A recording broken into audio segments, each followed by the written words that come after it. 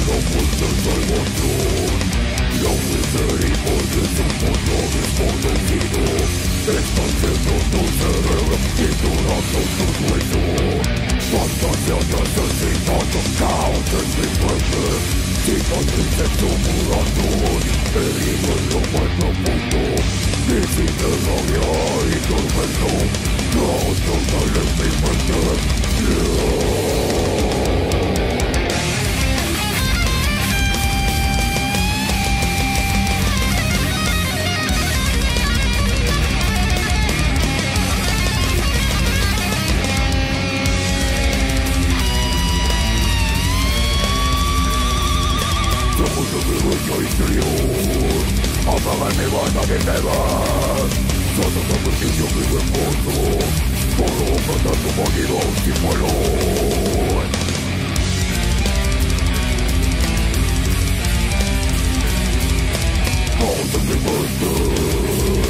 私やめ私など時間にせずほらどうよ売り物ならばまもどう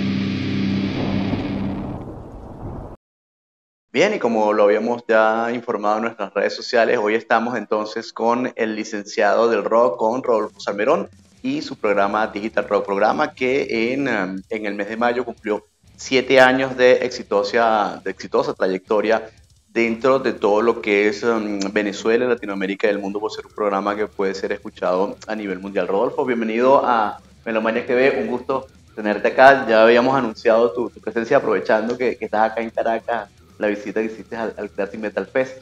Pues siete años, parecen poco, pero es mucho. Has, hecho muchísimas cosas con Digital Rock, un programa que siempre ha estado, como quien dice, en la palestra, en la parte principal. Has tenido varias nominaciones para los premios Melomania dentro de esa categoría. Cuéntanos esos inicios dentro de, de la actividad de la locución como tal y, y, qué nos puedes decir de Digital Rock en siete años. Ok, bueno, primero que nada, muchas gracias, Carlos, por la invitación a este prestigioso medio. Bueno, muy feliz de estar contigo aquí, bueno, y, ayer el, el, Classic Metal fue realmente genial. Con respecto a Digital Rock, eh, nosotros comenzamos en la radio en Mambo 94.9 en Paraguaná, Estado Falcón, un 14 de mayo del año 2015. Un primer programa piloto, era el año en donde llegaba por primera y única vez hasta ahora el Gilman Face, que trajeron a la gente de Malón y recuerdo que estaba el programa Melomania Report eh, en esa época con Plinio Valles y era como le dimos ese permiso para ingresar en el espacio que iba a tener el día del estreno Digital Rock. Eh, iniciamos con, éramos cuatro personas en el comienzo, eh, Delgado, el predicador del metal, eh, César Polanco, especialista en la parte extrema, llamado Doctor Miedo, Moisés Díaz en el control técnico y mi persona Rodolfo Salmerón.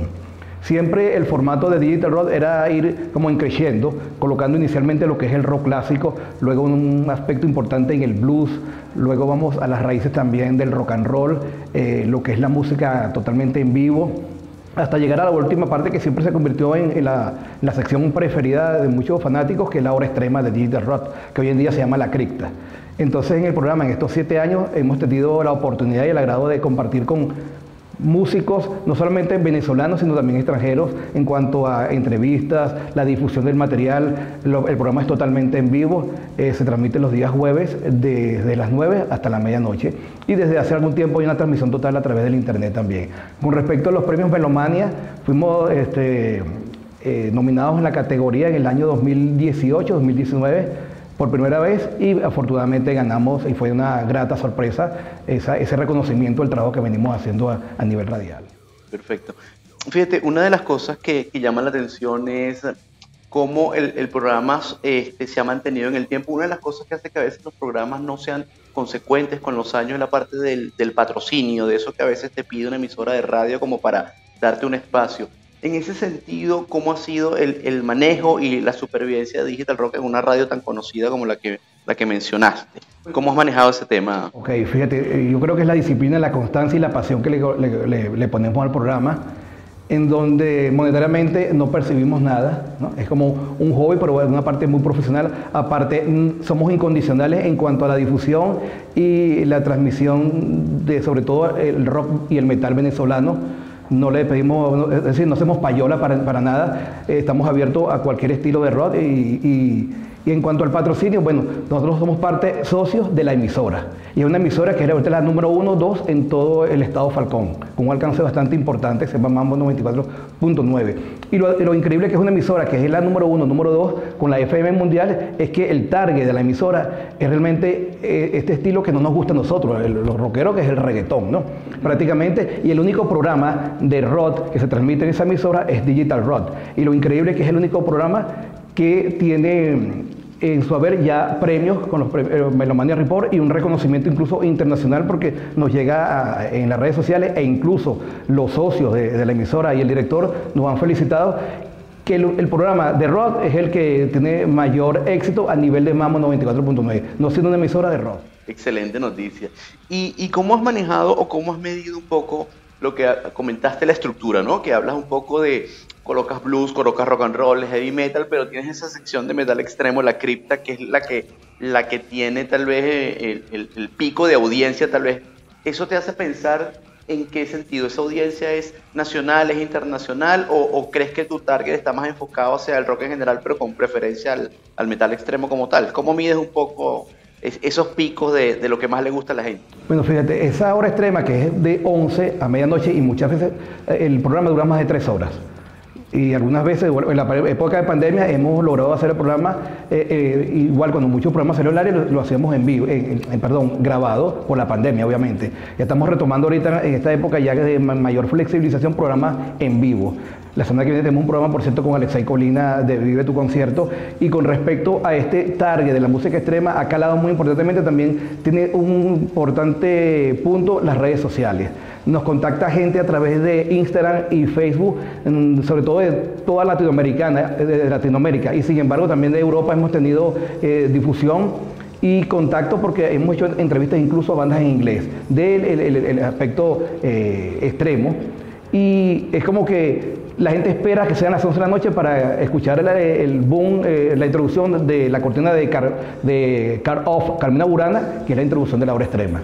Y es tanto así que ya hemos hecho programas especiales de, de 3 y 4 horas de música extrema, porque es lo que a la gente le está gustando.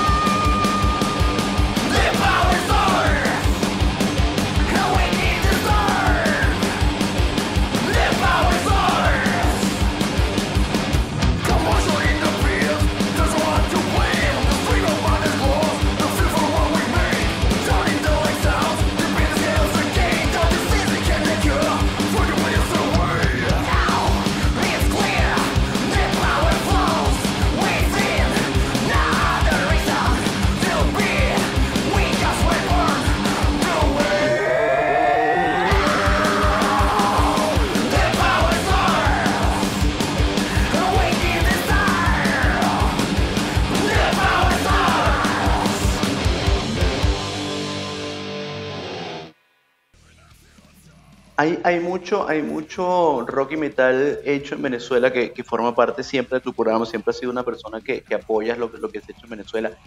Cuéntanos este, e, esa, mm, esa brecha o cómo ves la evolución de la música que se ha hecho en Venezuela en comparación cuando colocas bandas de los mismos géneros de países del primer mundo, de otros países donde se supone que hay mejor calidad de producción, ese tipo de cosas. Tú que escuchas tanta música, que colocas tanta música, ¿cómo has visto esa, esa evolución de la música este, del, del rock y el metal hecho en Venezuela? ¿Y qué feedback recibes de esa gente cuando pones algún estreno de alguna banda nacional y este tipo de cosas cuando hacen los reviews de los discos, este tipo de cosas. Pero bueno, fíjate, muy positivo. Y en cuanto a la calidad, creo que no hay nada que envidiarle a las bandas de otros países. Y lo he visto ahora que en los últimos tiempos he estado muy metido entrevistando, escuchando, eh, eh, dándole difusión al material que se hace en Venezuela. Y obviamente, con esta diáspora de tantos músicos que se han ido a otras latitudes, ellos se acodiaban a la, vez con otros músicos de esos países, sobre todo en Europa, también en, Sudamérica. Y eh, quizás han capturado parte de lo que se hace en esos países. Y, y cuando tú lo ves en los streaming, tantos discos y tanta grabación importante y de alta calidad. Lo vimos ayer, por ejemplo, en este Classic Metal Fest, un nivel, eh, yo lo comento, he tenido la oportunidad de ver conciertos en otros países, en Estados Unidos, en Europa, y está al mismo nivel. No hay nada que envidiarle. Lamentablemente, nosotros muchas veces en Venezuela no nos creemos lo bueno que tenemos. Eso es lo lamentable. Y eh, la calidad, músicos increíbles, virtuosos en todo nivel, bajistas, guitarristas, vocalistas, bandas en todo el espectro, eh, son brutales. Y es tanto así que he tenido comentarios muy positivos de gente de otozos países, de Perú, la gente de Meisos Terror, eh, de Argentina me ha escrito la gente de Isabel, de y esas bandas de Venezuela, y se quedan locos, por ejemplo, de que es una banda venezolana y con una calidad totalmente de exportación.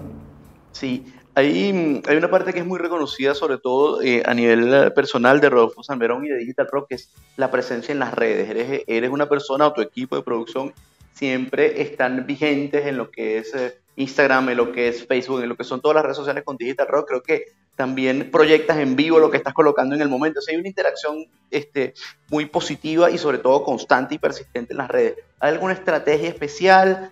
¿Esa es parte de la ideología o forma parte de la producción del programa? ¿Esa, ese bombardeo constante de siempre estar presente como tal? Bueno, fíjate, sí, nuestra influencia a nivel radial viene de Alfaro Escalante. Nosotros cuando estamos aquí en Caracas en los años 80 escuchábamos de lunes a viernes a M1300 todos los días la música sacudió y sacudió al mundo. Que él tenía la, expectativa de cada día era algo especial. El lunes de reflexión, martes de carnaval, miércoles de ceniza, jueves de concierto y viernes de terror. No pelaba, era y después la emisora cultural de Caracas. Entonces fuimos tomando esa influencia del duende Alfaro Escalante, obviamente ya transportar a los tiempos modernos, lo que están en las redes sociales, tal. Entonces, por ejemplo, hay gente que se ha copiado lo que hemos hecho de colocar en el momento que está sonando para que la gente que vea las redes y colocamos el link del programa en vivo pueda accesar si de repente quiere escuchar a la banda. Esa fue la parte de estrategia que hicimos y hay otros programas, sobre todo en Punto Fijo, que se están copiando de eso. Igual que creamos los bonus tracks. Termina el programa y tenemos como que sigue la música una hora más. Entonces ya hay dos o tres programas en Punto Fijo que se copiaron también, los bonus tracks. Pero ellos dan el crédito que, que es una influencia o una parte original de Digital Rock. Entonces, eh, la presencia en las redes es para la difusión de la música como tal. Es lo que, nos encanta y obviamente posteamos las experiencias que hemos vivido con músicos, viajes, tal, y eh, referencias y también me encanta ver el rock como una parte pedagógica. Yo estudio mucho el rock, tengo muchas revistas, libros, mi viaje compro y leo biografía de primera mano para que no creer todo, no creer todo lo que veo en las redes, sino verlo de la biografía oficial de los artistas. Perfecto. Hay algo también que, que, que, te reconozco mucho dentro de la parte de, de, la locución y de cómo manejas el programa, que te has mantenido muy centrado y muy enfocado en lo que es la música, ¿no? en lo que es el rock, el metal, porque un efecto que no podemos este, pasar por alto es que eh, el país pareciera que está dividido en dos partes, ¿no? que hay un país partido por la mitad y es, y es producto evidentemente de la política. Pero tú te has mantenido siempre en la música y apoyas a las bandas independientemente de su ideología política de, o de lo que puedan transmitir, ¿no? O, de, qué bando esté. Este, ¿Has recibido críticas por eso? ¿Cuál es tu visión en ese sentido en cuanto a las bandas que puedan tener un, mensaje político como tal? Este, porque el rock siempre ha sido contestatario, el rock desde sus inicios siempre ha sido como que contrasistema. Entonces, un poco, ¿cuál es tu visión eh, particular sobre ese tema? Bueno, fíjate, tienes toda la razón. Este, no es mentira para nada que tengo una gran amistad con Paul Gilman, por ejemplo, en este aspecto.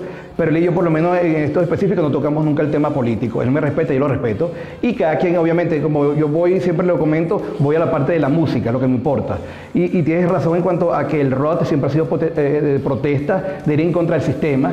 Y eh, lamentablemente muchas canciones que quizás, o la letra que se cantaban en los primeros inicios de Arcángel, quizás pegarían a la realidad que vivimos hoy en día. Y es la realidad. Y me ha tocado incluso colocar bandas como Trauma, que tienen un mensaje fuerte en sus canciones, mm. pero también coloco a Paul Gilman. Es decir, es un programa, un programa, político que va dirigido a la música y no comentamos nada de política en el programa. Yo puedo colocar a Trauma, puedo colocar a Gilman y colocar bandas que obviamente van en contra del sistema, pero no tengo problema. Y como te comento, en las secciones de Digital Rock hablamos de música y la parte artística, no de la ideología política del músico como tal.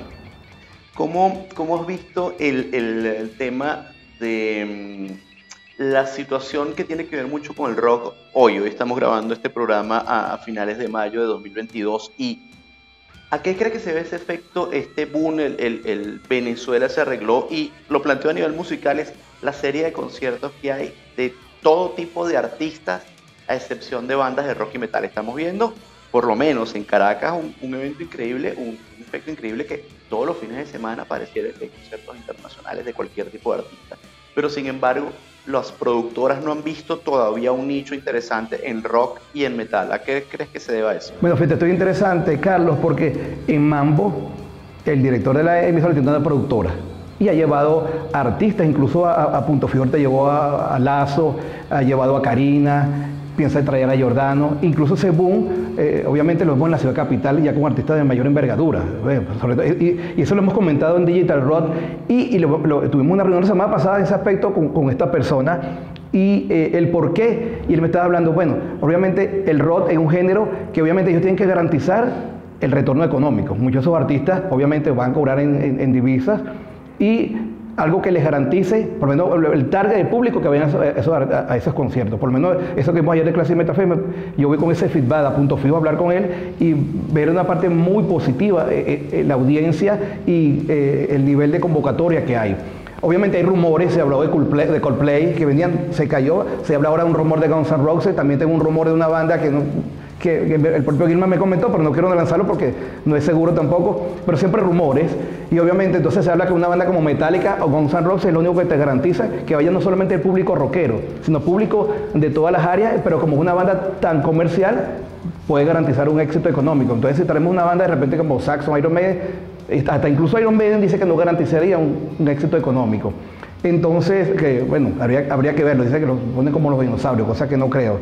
Pero yo creo que, bueno, creo que eh, esta experiencia del Classic Metal Face va a ser como un boom o un, termómetro también, de repente para que eh, las productoras eh, se arriesguen ya por una banda a lo mejor no tan grandes, pero sí de mediana y vayan subiendo poco a poco la escala para traer otra vez el rock y el metal, que hubo un boom tan importante.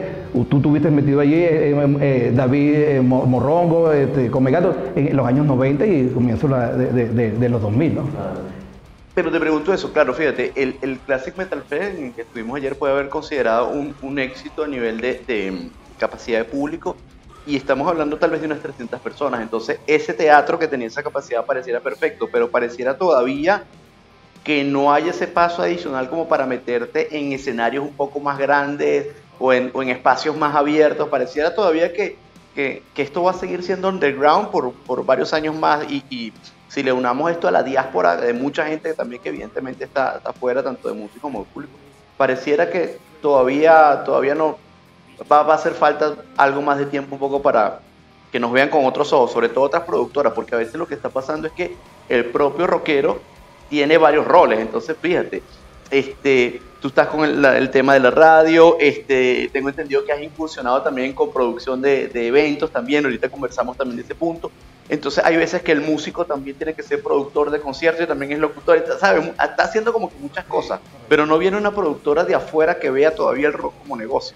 Como lo dices tú, si nada más tienen que venir Iron Maiden o, o Black Sabbath o Metallica para hacer negocio, imagínate cuando todo el movimiento del rock y el metal mundial es por debajo de esas bandas. Entonces, pareciera todavía que estamos. Claro, pero también creo yo que depende del público rockero, que exigimos, demandamos que vengan bandas, pero entonces cuando viene la banda, tú ves que no compran los tickets. O pretenden también que si son amigos, entre comillas, del productor, que le regalan los tickets. Y eso lamentablemente no es de ahorita, es una historia que ha vivido Venezuela en diferencia de otros países sudamericanos que hay un apoyo total. Argentina, en Chile tú ves más apoyo que acá. Entonces aquí pretende montar un concierto y van 50 personas. Por ejemplo, yo fui a ver a Nile en Maracaibo, en el Teatro Roxy, y vemos como 10 personas.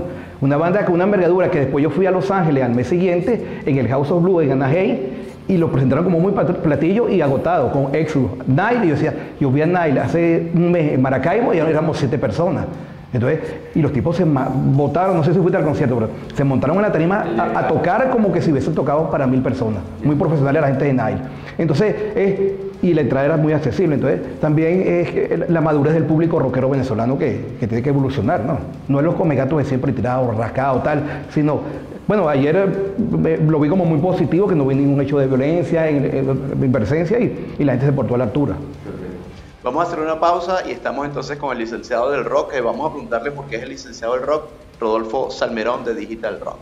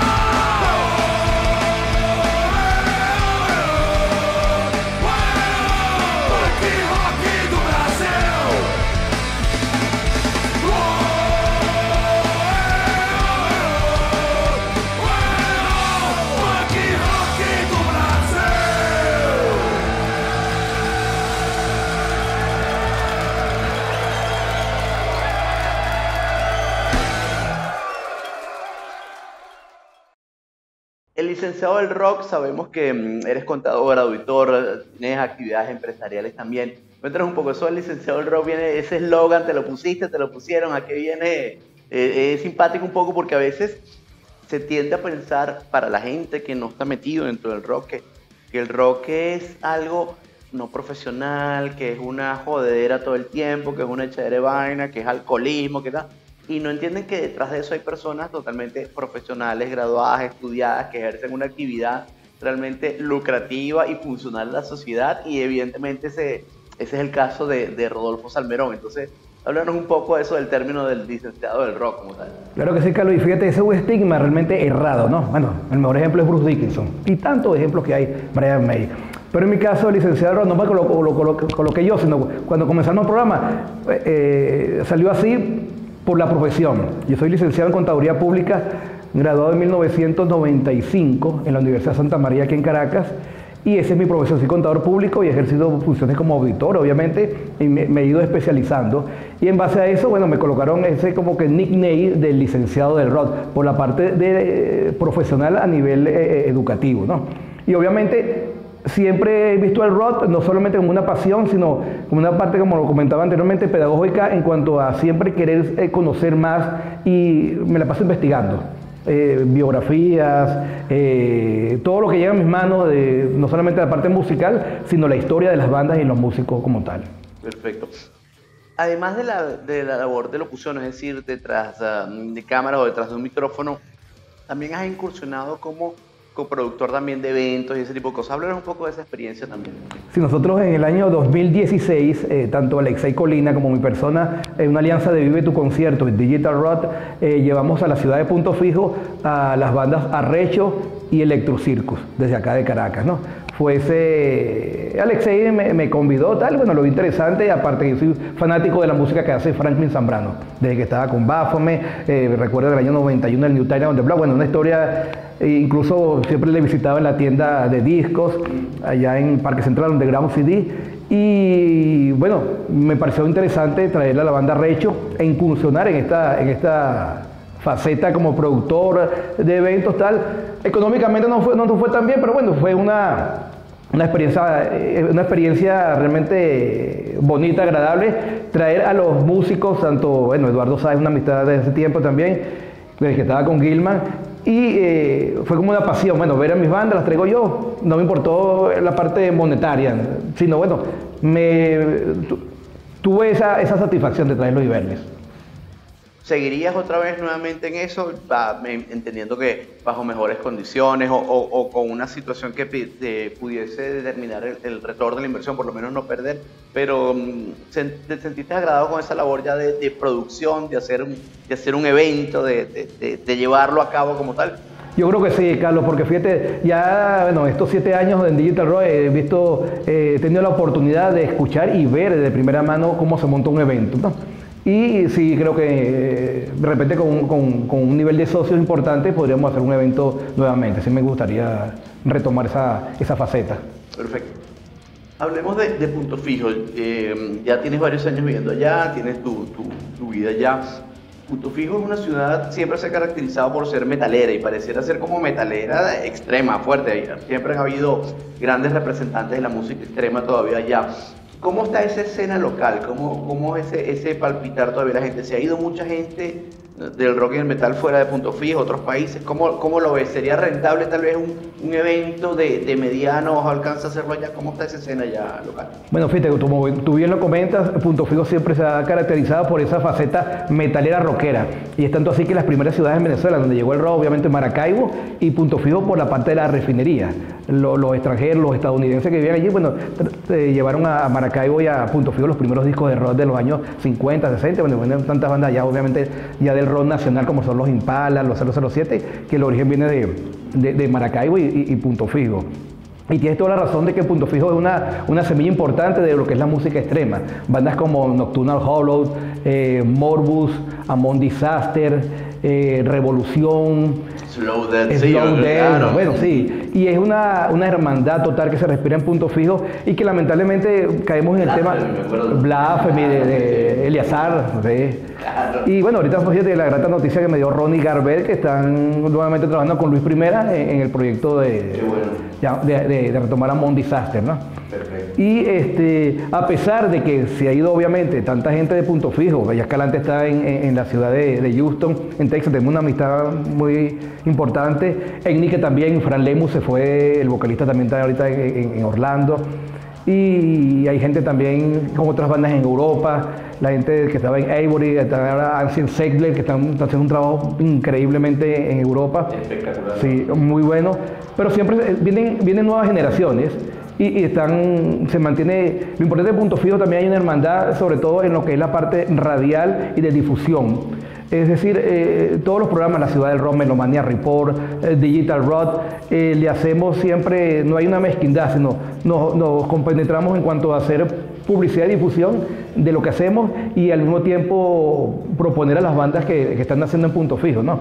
Y que a pesar de que, de que obviamente se ha ido tanta gente, siempre está ese semillero allí y el contacto total. Y en cuanto a si hay, es una plaza, bueno, hay lugares, lamentablemente no hay muchos lugares para tocar en punto fijo en la actualidad, pero se está trabajando en ello y ojalá que, pronto podamos tener obviamente nuevamente el resurgir de, bandas allá en Punto Fijo, aunque recientemente estuvimos en un local importante allá en Punto Fijo con viendo bandas de, lo que es eh, agrupaciones de tributo a Nirvana, a Foo Fighters, a The Police, pero poco a poco para lograr nuevamente. Y bueno, y ahora que el próximo 6 de agosto, viendo otra vez el Cultura Rock con la banda de Gilman, trayendo invitados La Tinta, Skyway Meditation, eh, frailes y, también va a estar una banda en donde toque por cierto mi hijo Ozzy Venezuela Show, una agrupación tributo a Ozzy Osbourne que está Juan Andrés Salmerón allí en la guitarra.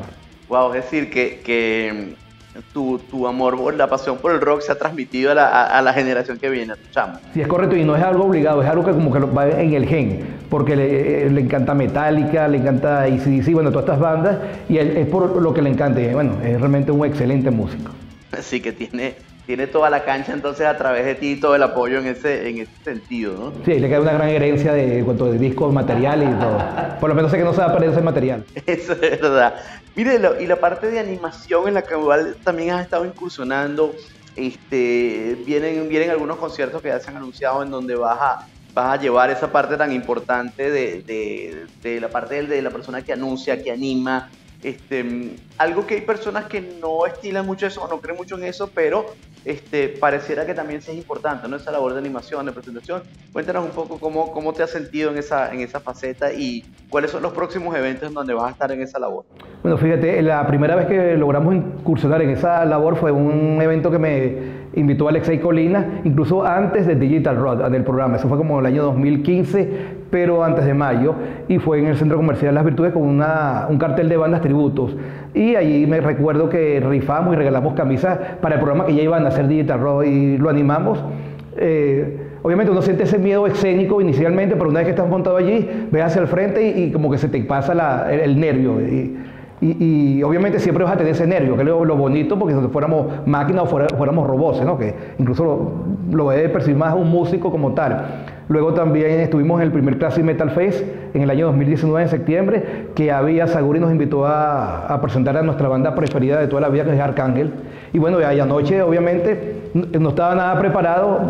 Eh, media hora antes me dice, Avi, tú eres el que va a presentar a Arcángel. Yo fui como espectador, nunca llevé un screen en mi mente. Entonces yo, ah, pero ¿qué voy a decir? ¿Tienes algo ahí? No, diga lo que tú quieras. Entonces me monté y en ese momento, bueno, salieron las palabras que pensé que eran las más, las más en ese momento idóneas para comentar. Ahora, para el 29 de julio, venimos con, con esta agrupación excelente como lo es Bajo Cero, celebrando un aniversario más de, de Santería. Eso también será en Teatrex y un cartel de lujo con bandas realmente geniales, ¿no? Y conjuntamente con Yolei Magascón. Chévere. Oye, eh, a ver, Ahorita has cumplido siete años con Digital Rock, hemos hablado de, parte de todas tus facetas y eso. Este, ¿Cómo ves el futuro de la radio? ¿Cómo ves el futuro de la radio de los programas de rock y metal? ¿Cómo ves la parte de, los programas vía streaming o vía YouTube con lo que es la radio tradicional que también tiene gran cantidad de fanáticos? Este, y en el caso que tú manejas ambas cosas, ¿cómo ves un poco el presente y la evolución en ese sentido? Bueno, fíjate Carlos, yo considero que la radio es un medio que a pesar del bombardeo de, las redes sociales, de lo que es el Instagram, y obviamente ya con una red social tú eres independiente, no dependes de un medio de comunicación, pues tú puedes hacer lo que quieras, puedes hacer un podcast. Ahorita hay un boom de podcast, todo el mundo haciendo eh, programas especializados en blues, en rock clásico, en metal, pero creo que siempre la radio se va a mantener, porque la radio es el icono, eh, obviamente en la frecuencia modulada, eh, y más cuando tienes también ese alcance a nivel del Internet por una radio que tenga señal abierta por Internet, que te pueden escuchar a nivel mundial.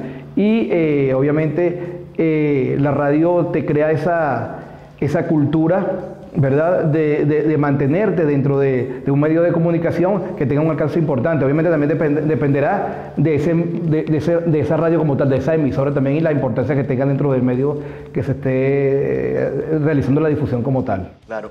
Me acuerdo eh, parte de lo que comentabas anteriormente sobre las influencias, hablabas de, Alfredo Escalante, que todos los recordamos.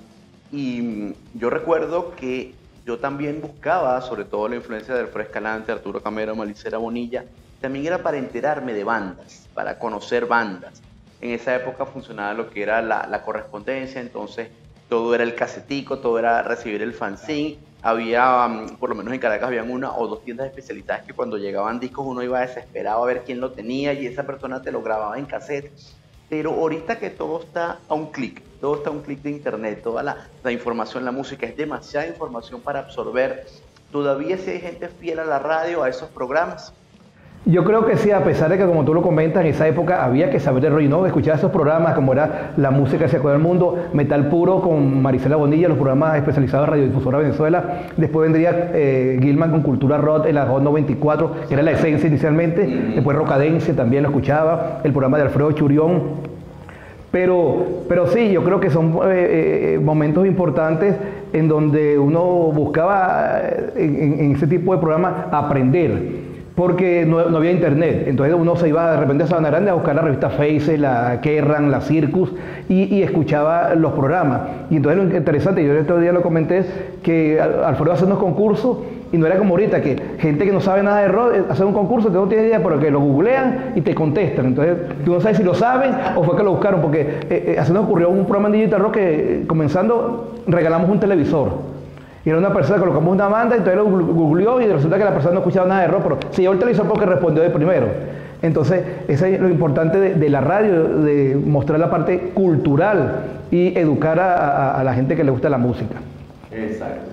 Pues Rodolfo, de verdad que ha sido un placer tenerte acá, de verdad que es un gusto. Bueno, te vamos a estar viendo más por Caracas, entonces presente y en otros eventos de Venezuela que está en esta labor de animación. Por acá tenemos un detalle de nuestro patrocinante Darwin es uno de nuestros patrocinantes, un pequeño ah, obsequio, un presente, presente entonces para ti.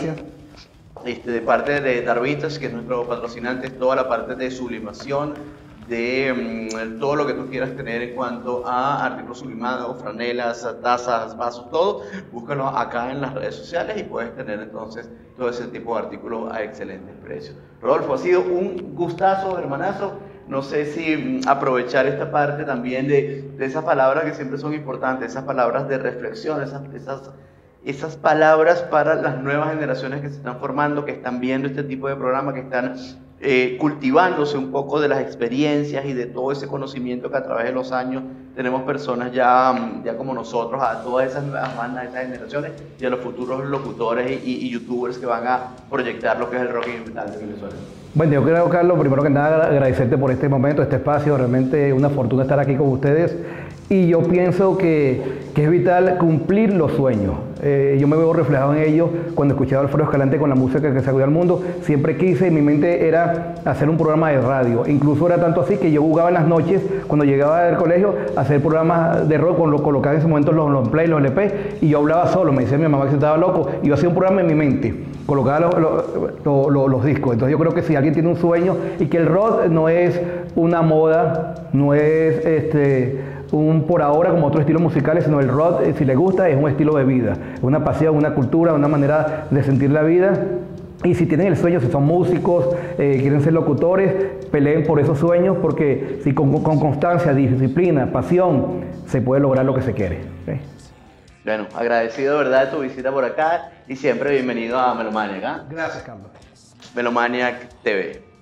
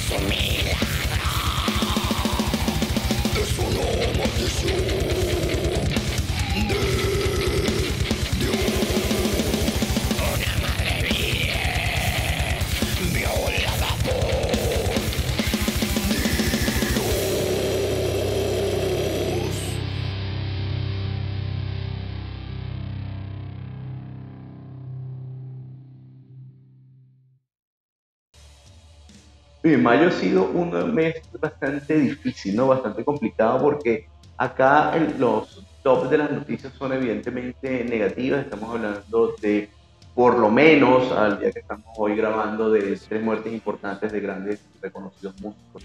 Estamos hablando del el vocalista de Black Diamond estamos hablando de Vangelis y estamos hablando también del baterista de Yes. Esto por lo menos han sido tres personas que han uh, fallecido durante el presente mes, evidentemente muy lamentable, pero bueno, como todo en la vida es un proceso, lo que todavía nos cuesta creer un poco es la cantidad de fallecimientos de este tipo, pero que tienen que ver con suicidios de músicos. Vamos a tratar en, en próximos programas de tomar este punto de vista desde un punto de vista más um, psicológico, más psiquiátrico, en el sentido de por qué tal vez hay una importante estadística de suicidios dentro del rock y del metal.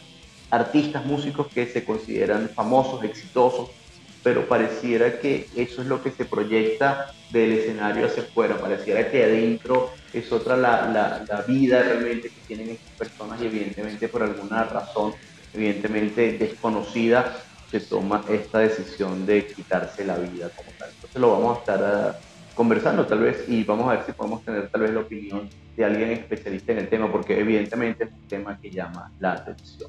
Otro punto importante que estamos, eh, vamos a comentar acá y que vamos a estar reforzando en eh, los próximos programas, bueno, ya los premios Melomania vuelven a su casa, ya con em, los términos de la pandemia un poco más relajados, no sé si es la palabra realmente adecuada, pero ya todo el mundo está en la calle, por lo menos las personas que vivimos acá en la ciudad de Caracas, ya todo está nuevamente en la normalidad, el mismo tráfico, el mismo nivel de, de, comercio y de cosas que están pasando.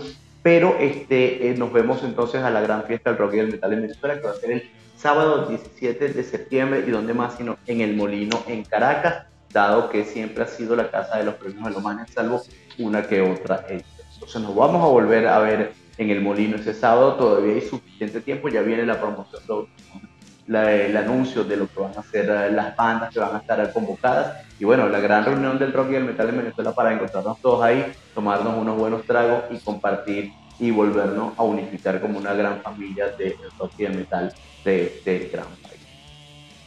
Bien, Melomaniac TV, como ustedes saben, es patrocinado por Dark Vintage, todo lo que tiene que ver con sublimación y algo más. Búscalos acá en sus redes sociales y se te va a dar el mejor precio para todo lo que quieras sublimar. Y ahora, hoy donde estamos haciendo este programa, es cortesía de El Point. El Point está en la avenida Leonardo da Vinci, acá en Santa Mónica, Bellomonte, Los Chaguaramos. Estamos ahí mismo, donde estaba la antigua bomba. Y bueno, este es el Point. Y este Point aquí donde tenemos este estudio, donde estamos grabando Melomania TV, también tiene una sala especial para lo que pueden ser tus ruedas de prensa, para lo que pueden ser tus presentaciones de disco, para lo que pueden ser cualquier tipo de reuniones o capacitación o entrenamiento totalmente equipado para un total de 20 personas en donde vas a poder hacer toda tu actividad conceptual, literaria, musical acá en las instalaciones. Total privacidad, total seguridad.